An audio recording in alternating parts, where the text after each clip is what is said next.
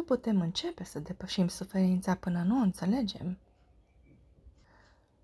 Prima învățătură pe care a dat-o Guru Buddha Shakyamuni după ce a atins iluminarea a fost despre cele patru adevăruri nobile.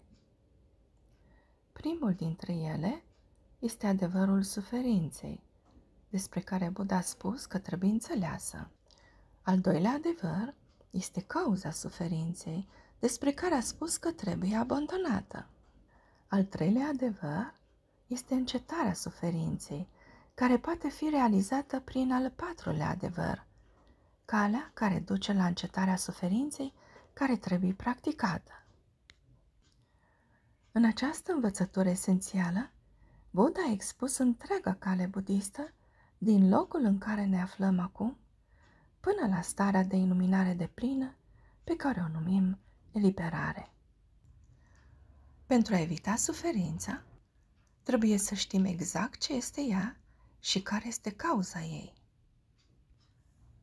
Dacă un medic ne-ar da un medicament fără să ne explice ce boală avem, n-ar avea niciun rost să luăm medicamentul.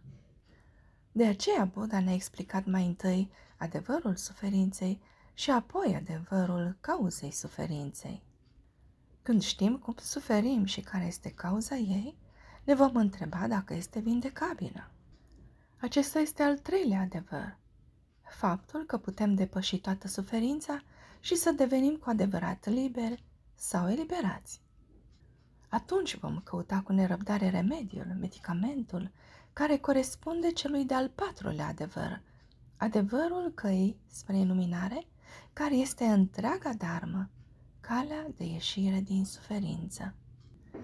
Buddha a văzut că ceea ce avem nevoie este să înțelegem mai întâi amploarea suferinței noastre, astfel încât să avem dorința de a ne elibera de ea.